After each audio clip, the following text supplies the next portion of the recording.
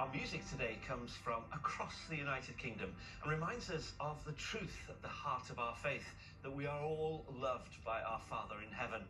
and through Christ are adopted into his family.